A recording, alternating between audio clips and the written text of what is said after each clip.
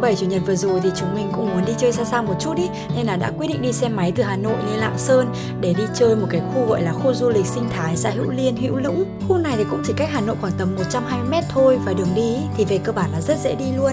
Vì ở đây sẽ khoảng tầm 2 ngày một đêm ý nên chúng mình lựa chọn thuê một cái homestay gọi là homestay Yến Nhi. Ấn tượng đầu tiên của mình khi đến với homestay là cảm giác cái đề co, cái thiết kế nó đẹp hơn tất cả các homestay khác ở trong khu này luôn. Ở đây thì chủ yếu trang trí bằng những cái giải ngô ấy, có một cảm giác rất là thân thuộc như kiểu trở về nhà vậy. Ngoài ra thì homestay còn cung cấp cái dịch vụ ấn nấu ăn nữa, bọn mình có thể order bữa sáng, bữa trưa, bữa tối và homestay sẽ nấu cho nhé. Bọn mình xuất phát từ Hà Nội là khoảng 8 giờ, lên đến nơi là tầm 11 rưỡi, mà 12 rưỡi mới check in cơ, vậy nên là chúng mình ngồi đợi một chút để ăn cơm trưa luôn.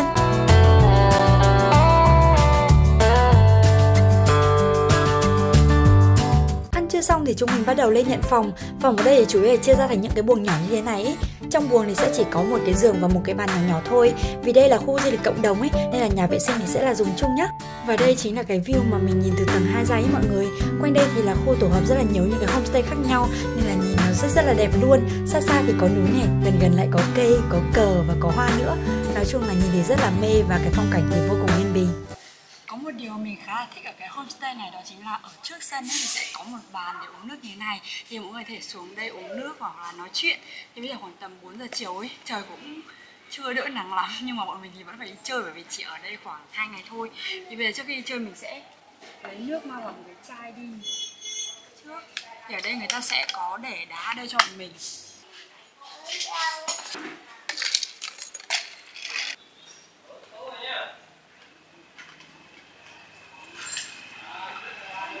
Ra thẳng xe luôn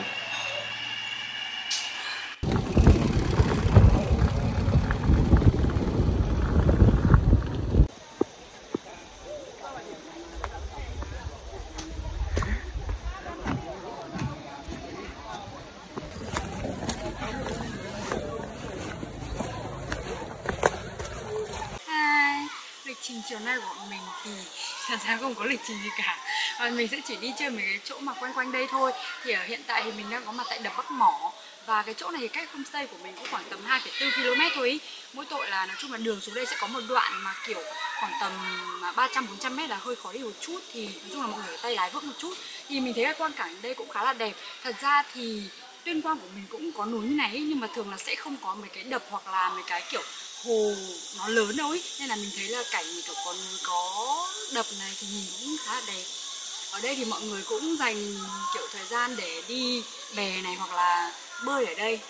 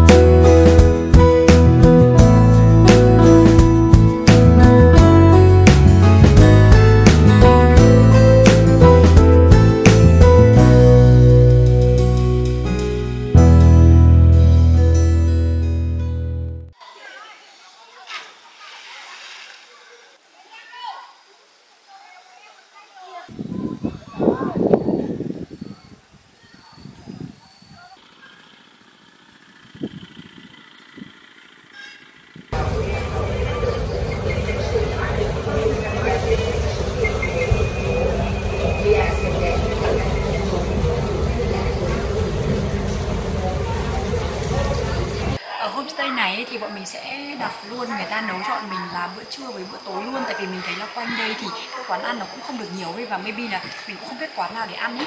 Thì ở đây người ta nấu mình thấy cũng rất là chu đáo. Tối nay thì mình sẽ ăn ba món là vịt này vịt uh, ốc muối và rau củ luộc.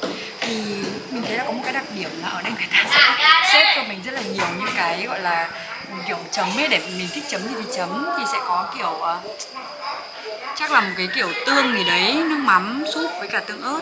Đấy thì ốc ở đây mình cũng không biết là loại ốc này loại ốc gì nữa. Nhìn cũng có vẻ rất là hấp dẫn.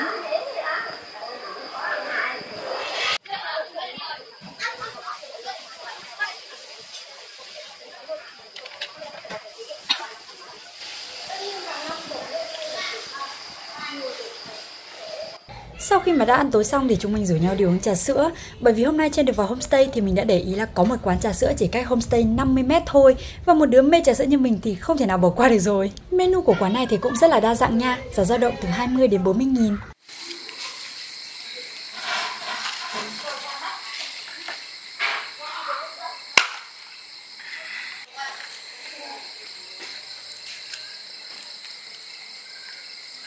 Thông điệp dành cho những bạn đến uống quán, ở quán trà sữa này. Bây giờ thì mình sẽ thử xem vị ở đây ra sao nhá. Trước hôm nay lúc mà, kiểu, đi đường đi vào homestay của mình sẽ đi qua cái quán này là mình đã nhớ được quán này trước, mình đã để ý rồi. May mình sẽ cố tình đến đây để uống thử xem sao.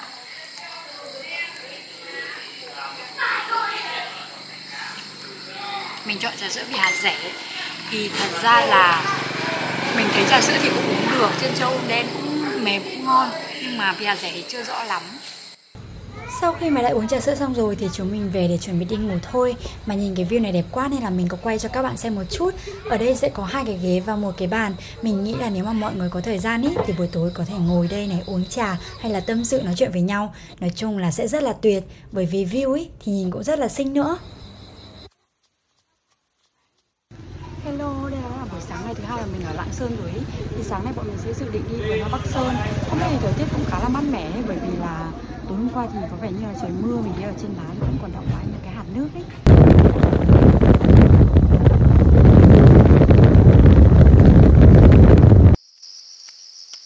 Hello, buổi sáng ngày hôm nay như đã nói là mình sẽ có cái kế hoạch đến thung lũng hoa Bắc Sơn. Thì hiện tại mình đã có ở đây rồi. Ờ, Đây là hình trên mạng này, mình thấy cũng rất là đẹp và nhiều loại hoa nữa. Và kiểu nhìn từ trên cao xuống còn có hình ngôi sao nữa cũng rất là đẹp. Nhưng mà bây giờ hiện tại thì mình đang ở chỗ này là thung lũng hoa Bắc Sơn ở kia. Thì mùa này đây bên cạnh mình là những bông hoa.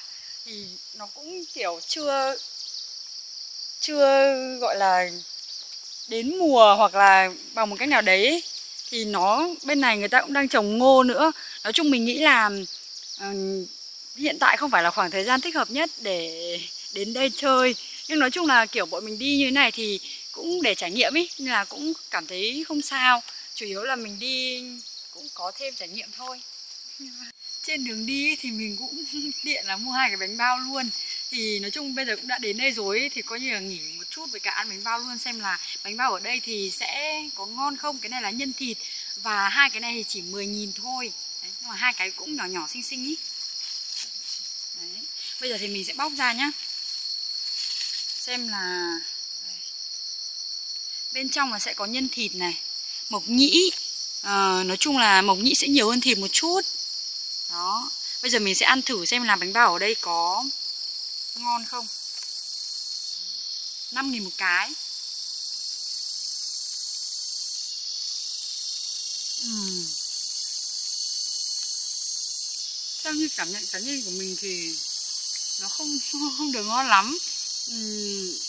tại vì bánh bao Hà Nội thì bọn mình sẽ ăn, quen ăn cái kiểu là bánh bao nhiều loại nhân khác nhau và có cả trứng ấy thì cái này thì nó cũng ăn được nhưng mà tại vì thịt thì nó chỉ phần ít thôi mộc nghĩ là phần nhiều nên mình không cảm nhận được ừ, ngon lắm ấy. Nhưng nói chung là 5 nghìn một cái thì mình cũng không có đòi hỏi gì nhiều.